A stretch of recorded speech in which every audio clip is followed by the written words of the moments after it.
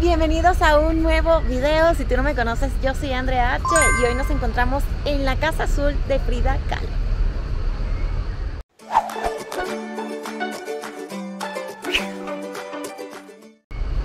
Así es, como les comentaba, nos encontramos acá en la Casa Azul de Frida Kahlo en Coyoacán.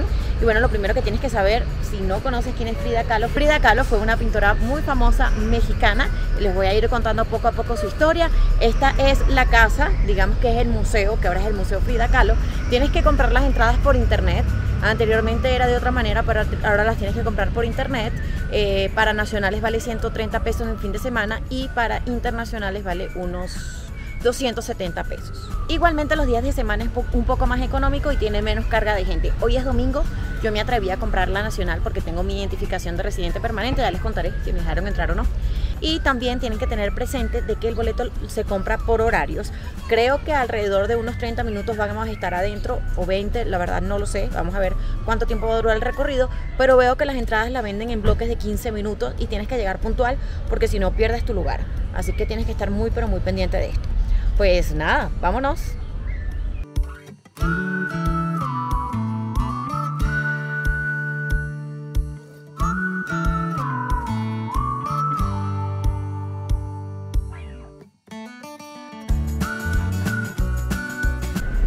Acá podemos ver la fila, la gente tiene que hacer la fila 5 minutos antes de la hora de entrada.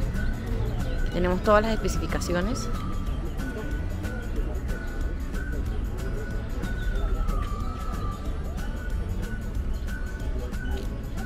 Una de las cosas que yo también les recomiendo a las personas que no conocen la historia de Frida Kahlo, antes de venir al museo, lean un poquito en, Google para que sepan quién fue, porque es un personaje muy importante y vale muchísimo la pena conocer la historia antes de venir al museo.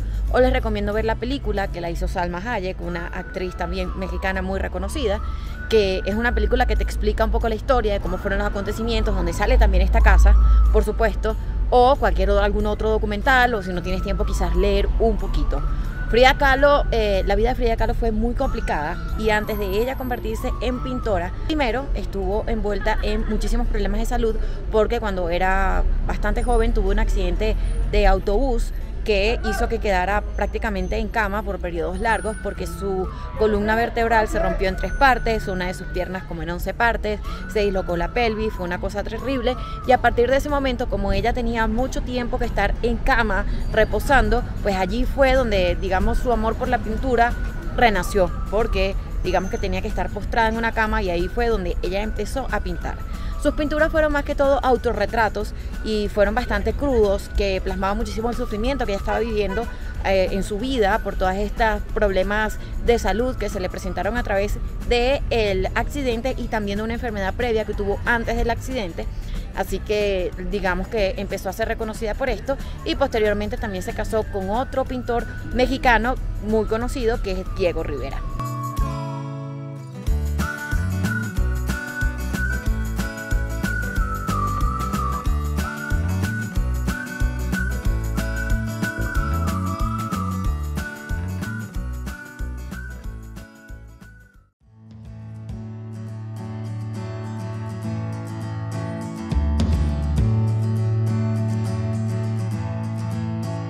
Vez dentro del museo se puede observar muchas de las obras de Frida Kahlo.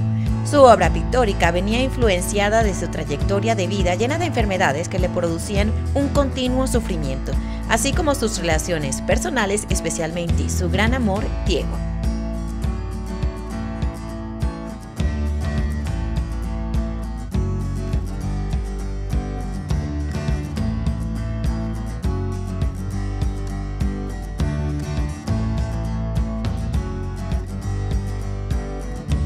Igualmente dentro del museo se encuentran retratos y fotografías, objetos utilizados en vida, y se pueden observar los patios, habitaciones y alrededores de esta, la casa de Frida Kahlo.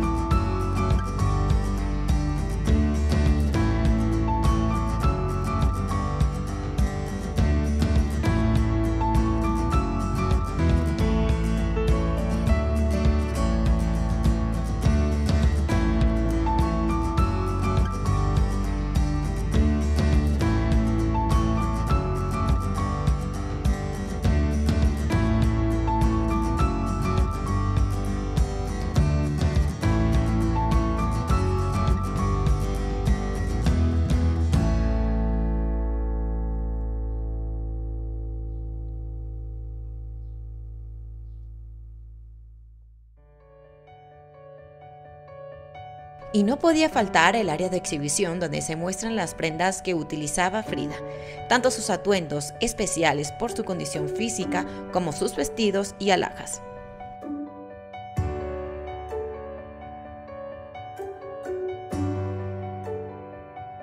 Sin duda, tienes que venir muy pronto al Museo de Frida Kahlo.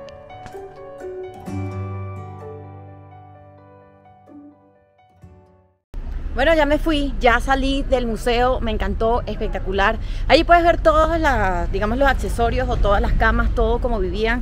Eh, muchísimas cosas rescatadas de cuando ellos vivían allí. Y bueno, está, la verdad es que está increíble. Sí me aceptaron mi boleto de nacional.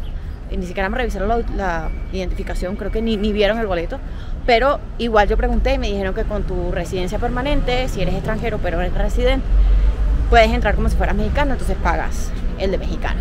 También es importante destacar que para el video dentro de la casa hice lo que pude porque no está permitido grabar videos, solamente se pueden tomar fotografías y tomé uno que otro videillo que ven en el video, pero muy muy cortos porque tampoco quería, digamos, romper las reglas dentro del museo, pero pues sí les pude les pude pues tomar registro de todo lo que vemos allí. Y bueno, podemos hablar un poquito más de la vida de Frida que hizo luego de que se ella convirtió en una pintura tan famosa eh, que mostraba su sufrimiento en las obras.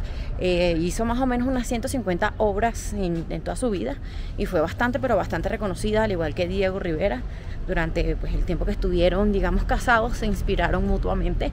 Frida solía tener también relaciones extramatrimoniales igual que Diego, pero Frida elegía los dos sexos, es decir, ella tenía eh, relaciones con mujeres y también relaciones heterosexuales, que mucho no le gustaban a Diego las relaciones heterosexuales, con las mujeres no le molestaba tanto, pero bueno, es un poquito lo que les puedo contar de la historia. Y bueno, pues ahora nos vamos a ir nos estamos caminando hacia el centro de Coyoacán porque hay muchísimas cosas para hacer. La estadía dentro del museo no es muy larga, está un rato corto, qué sé yo, 20, 30 minutos y luego pues ya, ya te vas, así que voy a disfrutar la tarde en el centro de Coyoacán. Acompáñame a ver qué cositas puedes hacer por allí en Coyoacán.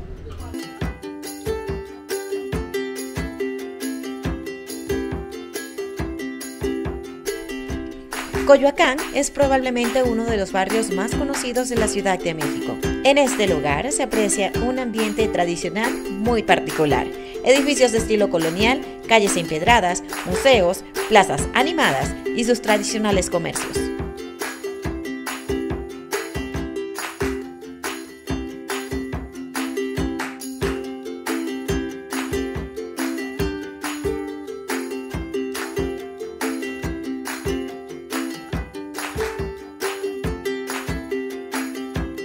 Bueno, la suerte es que aquí en Coyoacán, en el centro de Coyoacán, que es donde me encuentro ahora, hoy es domingo, hay muchísima gente, muchísimas actividades. Hay artistas callejeros, hay para comer dulce, para, comer salado, hay restaurantes, te puedes sentar en la plaza, hay muchísimas actividades para hacer y suelen venir muchas familias con sus hijos, eh, con sus perros.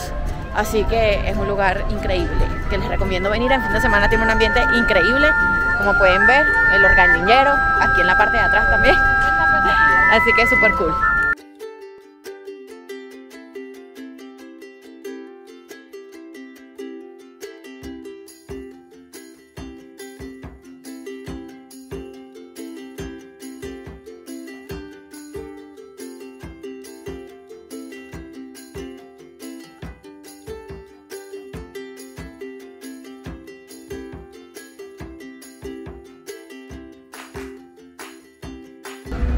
Bueno, ya vieron el ambiente maravilloso que hay aquí en el centro de Coyoacán, por supuesto en domingo.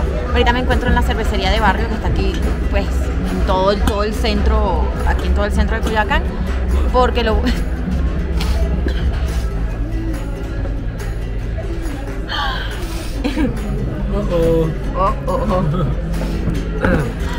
Porque, eh, bueno, luego de todo el calor que está haciendo en esta temporada, caminamos desde el Museo de Frida Kahlo hasta acá, que no es mucho, pero hace bastante calor. Entonces te refrescas, te comes algo, te tomas algo y luego continúas con el recorrido y sigues disfrutando de aquí, de, pues, de Coyoacán.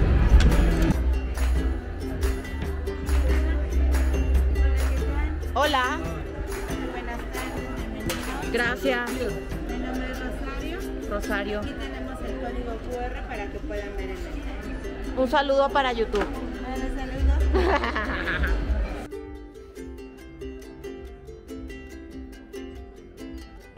Y bueno, después de haber salido de la cervecería de barrio, que ya me comí mi ceviche, me tomé mi cholita, ahora voy directamente a los puestos de churros súper famosos que tienen que conocer aquí en Coyoacán.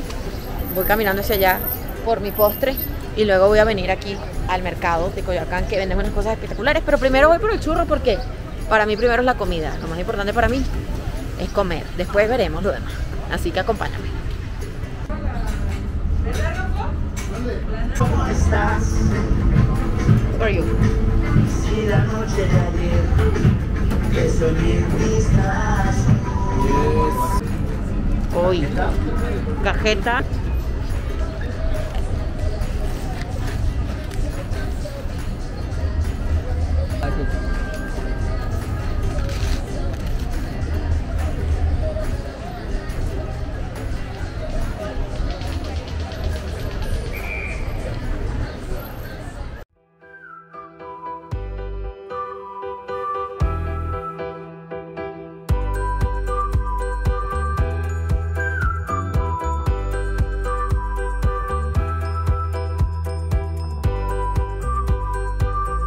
Bueno, como les prometí, estamos en el mercado artesanal de Coyoacán, que está aquí en el centro. Ya con mi mascarilla. En estos lugares sí hay que ponérselo. Y hay infinidad de artesanías y de cosas maravillosas para comprar. Ahí les voy a mostrar.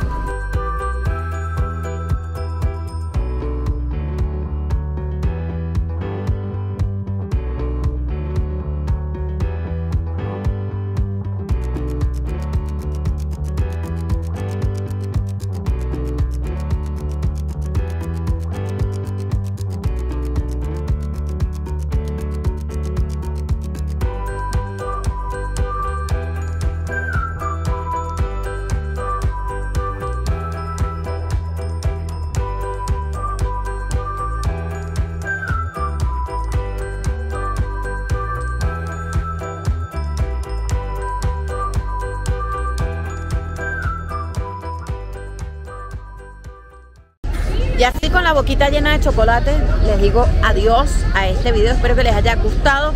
Ya saben las recomendaciones para ir al Museo de Frida Kahlo y para disfrutar de Coyoacán el fin de semana y semana. Obviamente el fin de semana como hay más gente, hay un ambiente como, tú sabes, como más típico, como más animado. Así que bueno, estuvo lloviendo un poquito, pero ya paró.